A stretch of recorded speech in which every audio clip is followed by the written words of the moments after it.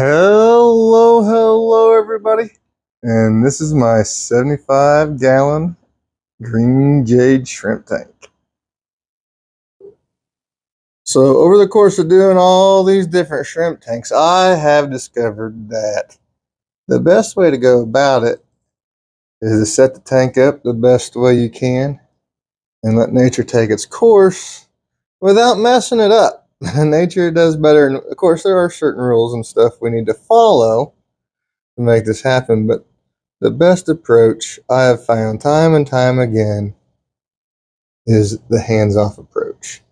Now, this tank, I noticed just a little bit of algae starting to grow in there, and I think this is an intake sponge right here. Look at those green jade shrimp. And I think this filter is pretty much clogged up. I don't think it's doing much flowing.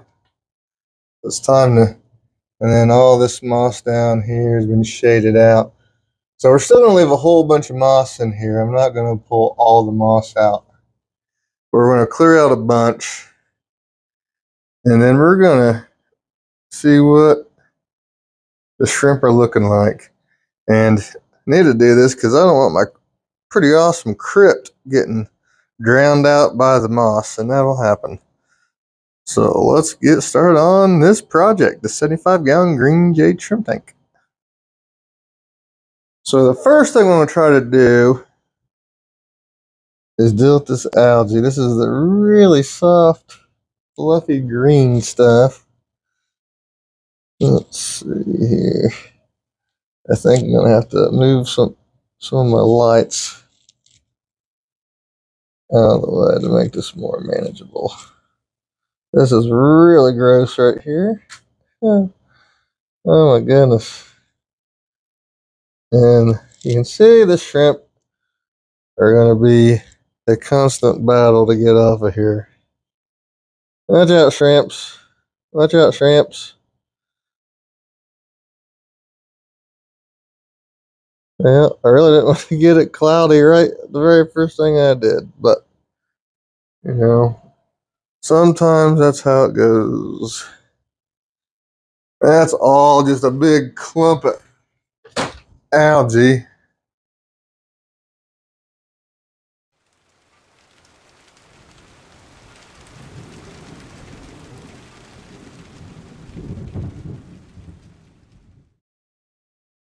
So the next thing we're going to do is pull out all this growing up here.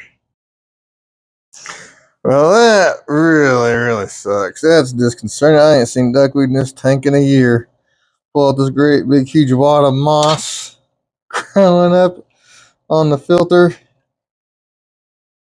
And there's freaking duckweed trapped in there somehow. And let me tell you, I hate duckweed. Oh my god, I'm gonna have to. Oh man, there's a bunch in there trapped. Not a ton, ton, but oh, I hate it. Still can't see that filter yet. oh my gosh, this is so thick down here. This is crazy.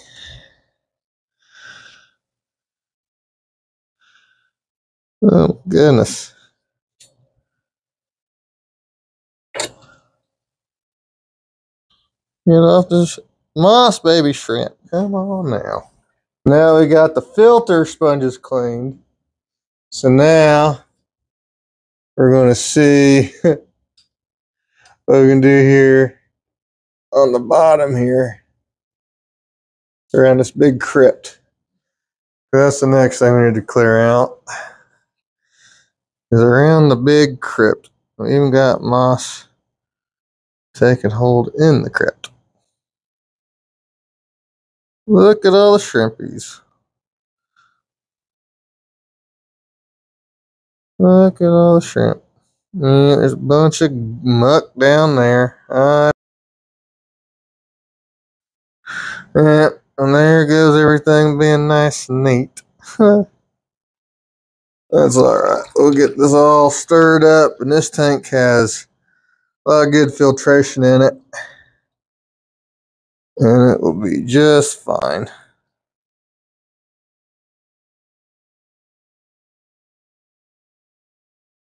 So we're still pretty stirred up. But look at the shrimp we got in here now.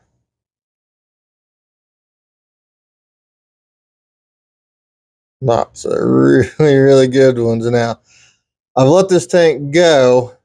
And, uh, well, as far as the moss goes, because like I explained earlier, that's what they like. They don't want you in here messing it up. But sometimes you reach a point where you just gotta. But just because I haven't been in here doesn't mean I haven't been culling these shrimp because, like I said, I've been selling shrimp out of out of here every week. And when I sell shrimp, I just whoop, random scoop and the ones that ain't good enough get separated out. So every time I catch shrimp to sell shrimp, I'm always doing a little bit of culling. So that helps too. So it's not like I've let these tanks go completely untouched. I think I did this about a little over a year ago.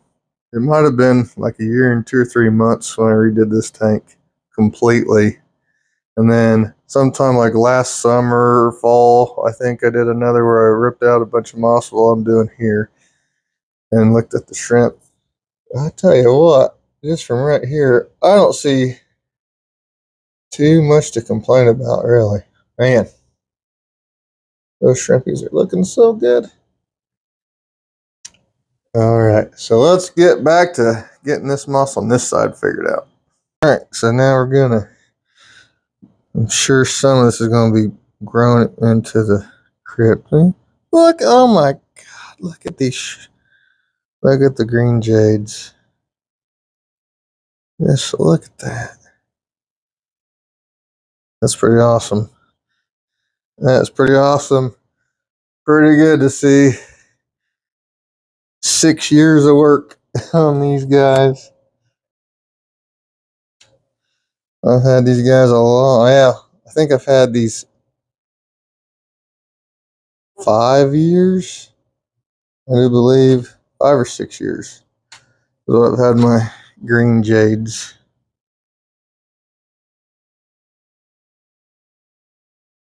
All right, so we got all that. Look at all the shrimps. Oh my God. Oh my goodness. So much moss in here. Very crazy.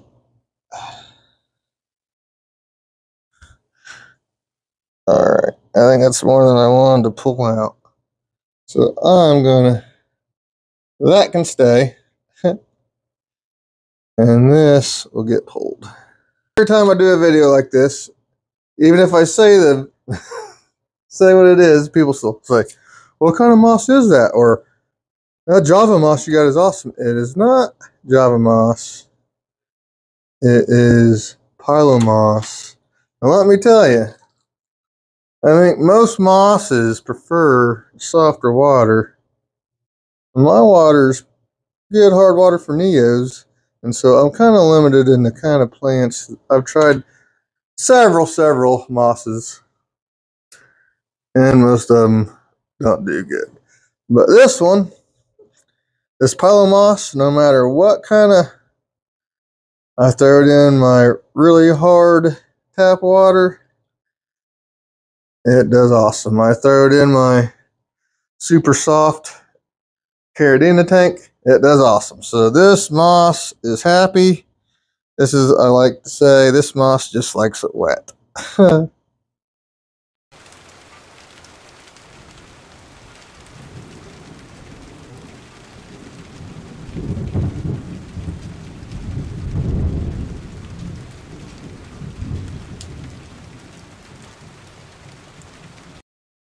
Okay, you guys, so I'm going to show you how I do my intake sponges. Now, these are the exact same size, size 5 ATI sponge filters. And they come with this guy. So this goes like so. Uh, actually, I think this goes like so to keep it the same setup as before. And this comes, these will meet there in the middle. And boom, have it on there. And then this guy fits onto the filter intake. So I, another question I get asked a lot is, what do you add to your tank? How do you get so many shrimp? Well, let me tell you. All I do is add my tap water. Water's going back in now. And I add some safe, which is the same as prime, just a concentrated powder form because my tap water has just a little tiny bit of chloramines in it. All right, so we got the tank up and running again. We got it all settled down. You can see that current, uh, that sponge. That was just a trickle. Now it's just gushing out of there. And look at all the shrimpies. Okay, so what we're going to do, we're going to try to get some shrimp gathered here and some shrimp gathered here. And we'll, we'll just make a whole bait pile right out here in the open. And we'll get as many bad ones out as we possibly can.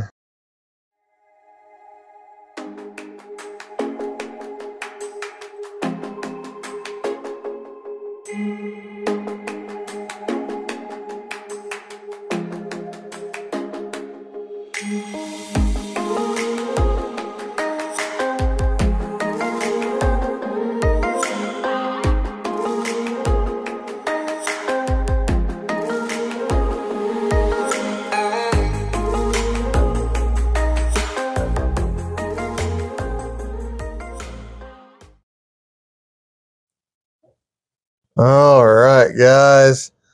Let's see how many of these we can get out of here. Usually these guys are pretty predictable. But sometimes you get some, what the heck type of thing is you? That's kind of, there's a weird looking one. What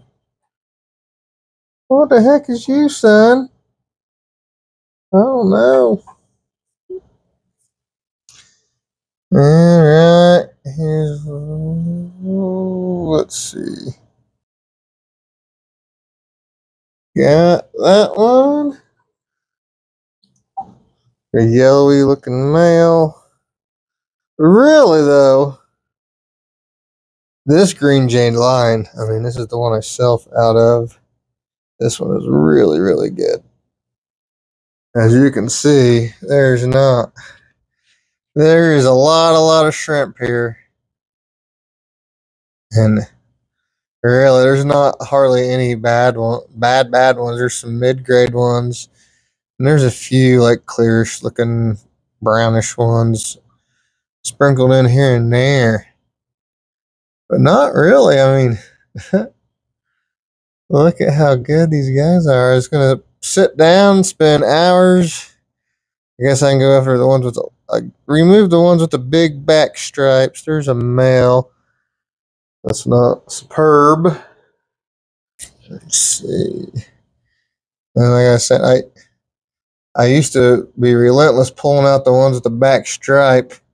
And that's not really too much of an issue these days. Yeah, another bad male. Most of them are just like in this tank. They're almost just bad males. It's pretty much the only thing you got to pull out here.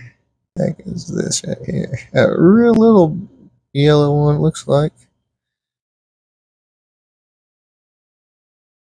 That one's real little, but real bad. I don't even know if you can see that one. There's a peewee. You can tell he's gonna be like yellow or brown, clear or something or other. He ain't green. So these are the ones we pulled out. You can tell there's there's a handful of really bad ones, but most of them are just kind of mid grades. And some aren't even that bad. And look at how much moss we pulled out of here. Holy crap.